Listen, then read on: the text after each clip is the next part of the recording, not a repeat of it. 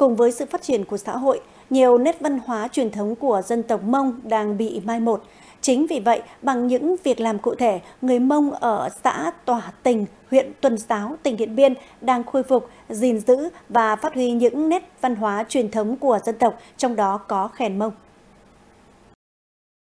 Năm nay tuổi đã cao, song ông Mùa Giống Thào, xã Tỏa Tình, huyện Tuần Giáo, tỉnh Điện Biên vẫn luôn nhiệt tình chỉ bảo cho những người yêu văn hóa dân tộc mình, nhất là đối với lớp trẻ. Ông là người đang nắm giữ các nghi lễ cũng như biết sử dụng một số nhạc cụ của dân tộc, trong đó có cây khen mông, và ông đang nỗ lực truyền dạy cho người dân trong bản. Mình bắt đầu già rồi, ví dụ như xứ của mình đã yếu rồi, thì mình phải hướng dẫn là phải giáo dục cho cái lớp trẻ đó. Cái này là nó phải mấy một đời người phải có một hai người nó biết à, biết thổi à, để là giữ được cái tương lai của bản sắc dân tộc Mông ạ. Ở bản lồng hiện nay, những người biết thổi khen và múa khen cũng chỉ còn khoảng 10 người.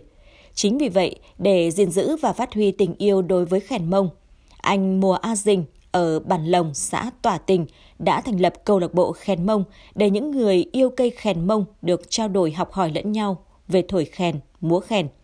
Anh Dình cũng tận tình hướng dẫn, dạy cho những người muốn thổi khen múa khen trong bản từ động tác cầm khen, cách điều tiết hơi, đến động tác múa khen và các điệu nhạc truyền thống của người Mông, khơi dậy niềm say mê, tình yêu nhạc cụ của dân tộc mình.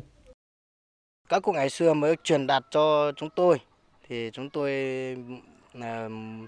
có khi có một người mất ấy, thì cái kèn này rất là cần thiết. Đấy, không có cái kèn thì không để không thể đưa đám tan được. Đấy thì mới dùng cái kèn này để đưa cái tan kia thì bây giờ kể cả ờ, đi uh, văn hóa văn nghệ cũng phải có cái kèn với lại đi vui xuân cũng phải có kèn uh, ờ,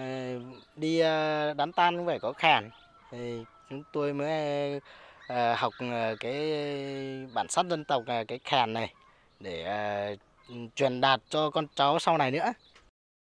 với việc lan tỏa giá trị văn hóa truyền thống, đã từng bước tạo cho thế hệ trẻ người Mông ở xã Tòa Tình, huyện Tuần Giáo ý thức trong việc lưu truyền, giữ gìn và phát huy văn hóa truyền thống dân tộc mình để văn hóa truyền thống không bị mai một.